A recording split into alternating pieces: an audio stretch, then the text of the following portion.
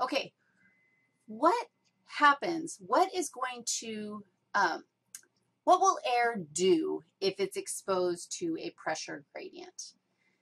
In our conversation, we're going to look at, um, we're pretty much consistently going to be, use the units millimeters of mercury to describe pressures. We did that with blood pressure. We're going to keep the same units for uh, breathing and the pressures involved in ventilation. But the thing that I want you to get clear before we even start is if there is a pressure gradient, what direction will air molecules move? Will they move to lower pressures or will they move to higher pressures? Well, I can give you a whole bunch of visuals on that as well. The fact is that air molecules will move from a high pressure area to a low pressure area. And if you create a pressure gradient, you can actually facilitate movement of air. In fact, that's all wind is. Wind is air, our atmosphere, moving from a high pressure zone to a low pressure zone. And if you are a weather person, you can anticipate and analyze and like understand all that. High pressure and low pressure zones exist in your respiratory system. And for orientation, before we begin assigning pressures to our thoracic cavity, we have to accept one thing first, and that is this. Atmospheric pressure, look, I'm drawing my respiratory system again, except I'm not keeping it, so I don't even know why I'm involved, whatever. Oh my gosh. The bottom line is I'm drawing you this because I want you to appreciate the fact that this is your mouth. That's your mouth. And your mouth is open to what? The atmosphere. So out here is the atmosphere. And in this whole conversation, we are going to set atmospheric pressure to zero. Remember how we did that with um, action potentials? For, for determining the membrane potential, we set the external environment, the extracellular fluid, we set that at zero, and then we compared what was going on inside the cell. We used that for our comparison, but we set the outside to zero, and then everything was just relative to that. We're just going to do the exact same thing here. We're going to set atmospheric pressure to zero. Therefore, you tell me right now if you want air to go into the trachea, if you want air to go into the lungs, what are you going to have to create inside the lungs? You want air to move. Pressure out here in the air is just automatically set at zero. We're just going to norm it at zero. How can we get it to move? If somehow we can create a low pressure zone in the alveoli, that will cause air molecules to move from high pressure, zero, to lower pressure, negative. Can you accept that so far? Can you feel like, yeah, okay, that kind of works for me. I can visualize how that would be. If I wanted to get the air out again, what would you do? Dude, just increase the pressure inside the alveoli. The question is, how do we do that? Shall we go look at how it is done?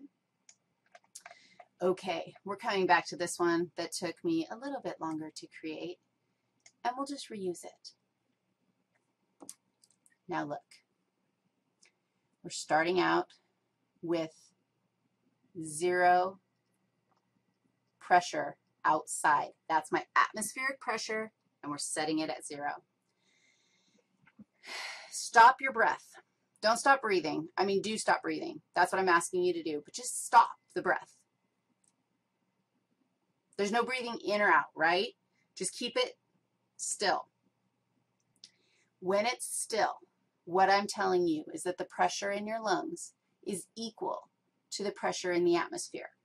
If it wasn't, this is, the, accept this, write it down. I'm not going to, but you are. pause me, whatever, write it down. If the pressure inside the lungs is equal to atmospheric pressure, there is going to be no movement of air. If I want air to move, I have to change pressures, period. That's it. I happen to know Boyle's Law, and this is going to be easy because all I'm going to do, you watch this, you watch and learn. All I'm going to do, I can do this, I just have to pick a color. Maybe we'll go with a brighter red. I'm going to contract my diaphragm. Look at this, you guys. What did I just do to the volume of my chest cavity? What did I just do to it when I contracted my diaphragm? Number one, contract diaphragm. That says diaphragm. Sorry about that. Consequences of contracting your diaphragm, you increased volume of the thoracic cavity. This is very confusing. Ignore that arrow. That was just saying, what happens if you do this? Well, I contract my diaphragm, the volume of my thoracic cavity increased. Now I have this giant volume. What happens to the pressure inside there? If I increase the, the volume, my pressure decreases. Pressure where?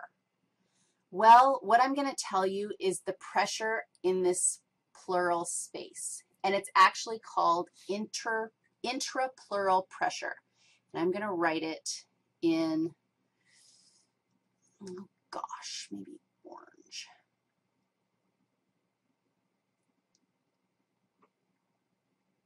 There. Intrapleural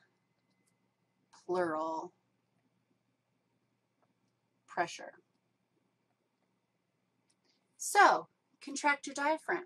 Increase the volume of your chest cavity. Decrease intrapleural pressure. That's actually really straightforward, isn't it? Intrapleural pressure will decrease. Now, here's the interesting thing. In this space right here, even at rest, this space has a negative pressure. Even at rest. It has, I think it starts with um, negative 2. That's interesting. At rest, it's negative 2, which means what kind of chronically happens in your lungs? Since this is a higher pressure, guess what? You chronically kind of sort of have your lungs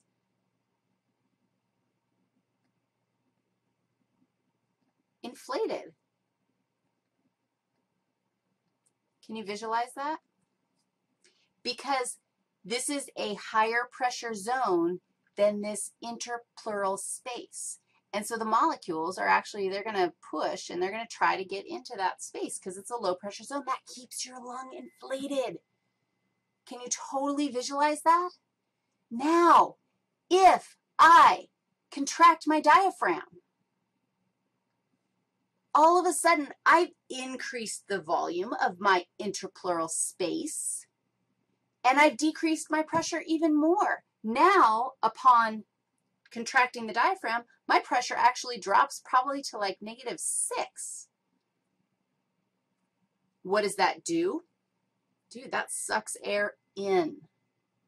When you relax and you decrease the volume of that space, What's that going to do? I decrease the volume by relaxing my diaphragm. That's going to increase the pressure, and where is the air going to go? Peace out. It's going to go out. In fact, the pressure inside when you contract, it actually, in your alveolus, goes up to like 1. Whoa, that's huge. It's not that huge. But if my pressure is 1, then the air is going to flow out if I wanted to increase the pressure inside there anymore, I wanted to make it five. I'm going to go crazy, man. I'm going to have an interpolar, I mean, an alveolar pressure of five millimeters of mercury compared to the external environment. All that means is I just blow out air faster. The air moves faster from this high pressure zone to this low pressure zone. I want to breathe in fast, increase the volume of my chest cavity. air just comes right in. It's not really, it, it's coming in down its pressure gradient, which I guess kind of is what sucking is. That's how you breathe, my friends. Is it all the diaphragm? Is the diaphragm the only thing responsible for changing the volume of your chest cavity? No, your ribs actually, with the help of your intercostal muscles, your ribs change shape as well.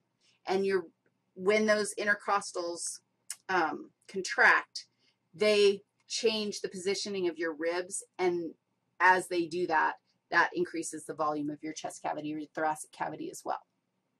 Both of those factors working together um, result in breathing. Now look, I think I have, no, what? I don't? Dude, that's messed up.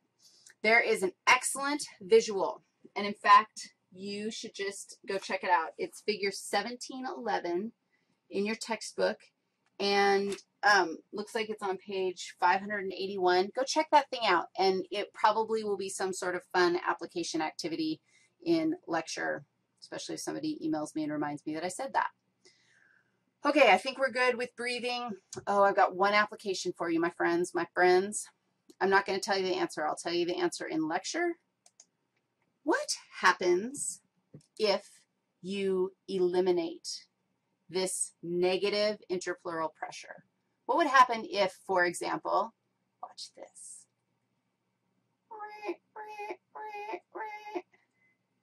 Does anybody know what that sound was? Does anybody know what this thing is? Um, that's a knife. And I am knifing. I live with lots of Y chromosomes. It should be a lightsaber. And I just stabbed this person, lightsabers, whatever. If I broke through the chest cavity and I changed this negative interpleural pressure, what are the results of that? What are the consequences? We'll talk about that in lecture two. Bye-bye.